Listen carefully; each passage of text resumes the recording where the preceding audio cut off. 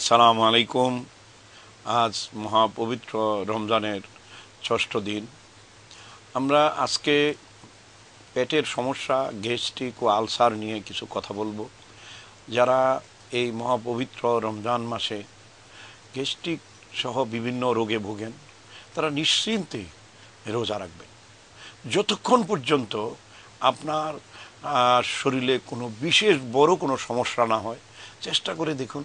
অনেক রুগী রমজান মাসে আমাদের কাছে এসে বলে যে, আমার গ্যাস্ট্রিক ভালো হয়ে গেছে। আমার পেটের সকল সমস্যা ভালো হয়ে গেছে। এখন আমার পেটে কোনো সমস্যা নেই। কারণ রমজানের পবিত্রতার সাথে হালাল খাবার এবং খাদ্যের সাথে পথ্য, পথ্যের সাথে ঔষধ একটা বিশেষ বিশেষ সম্পর্ক আছে।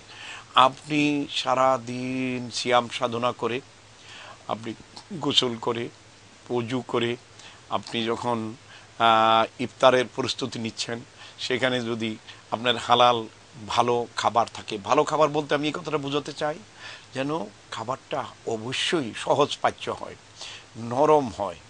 যেরকম ধরেন, আপনি যদি খাবারের প্রথমেই, ইফতারের প্রথমেই আপনি একটু খুরমা, খেজুর কিশমিশ খেয়ে নেন, এরপরেই আপনি যে কোনো ধরনের একটু ফল খান, এরপর একটু এইসবগুলোর বসির শরবত খান।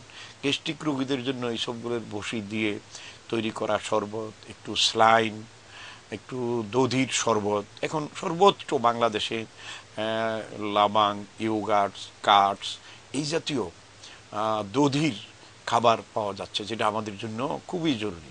তারপরে আপনি একটু চিরা, চিরার সাথে আর একটু দধি মিক্স করে নিলেন, তারপরে সালাদ আপনাকে এই রমজানের তিরিশ দিন সালাদ আপনাকে চেহরি এবং ইফতারিতে খেতেই হবে। সালাদ থাকতেই হবে।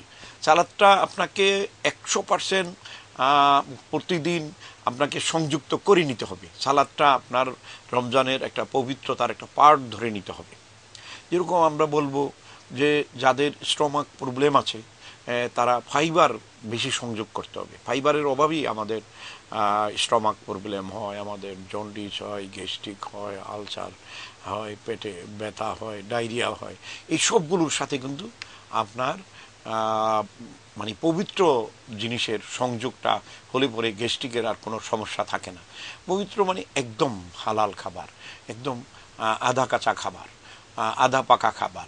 অপক্ষ খাবারটা গ্যাস্ট্রিক রোগীরা কম খাবেন অপক্ষ বলতে আমি বলব যে, আমরা যেরকম ভাজি করি, অনেক বেশি ভেজে ফেলাই বোরা বড়া যেটাকে বলি, সেটার ভিতরে যদি কেউ বোরা খানি, তাহলে তেল সারা ভাজতে হবে। ওটার ভিতরে ডালের পরিমাণ থাকবে তিরিশ পার্সেন্ট আর সত্তর পার্সেন্ট থাকবে পাকুড়ার মতো বিভিন্ন রকম গাছের পাতা, একটু সজনার পাতা, একটু আপনার পেঁপের চোকলা সহ পেঁপে আপনার ওইটার ভিতরে থাকতে হবে একটু পুদিনা থানকুনি যার পেটের বেশি সমস্যা আছে, সে গন্ধবাদাল পাতা ওটার ভিতরে সংযোগ করে নিতে পারেন। এছাড়াও ডায়াবেটিস রুগীদের ক্ষেত্রে বিভিন্ন রকম মেথি সংযোগ করলে ডায়াবেটিস রুগীদের জন্য উপকার হবে।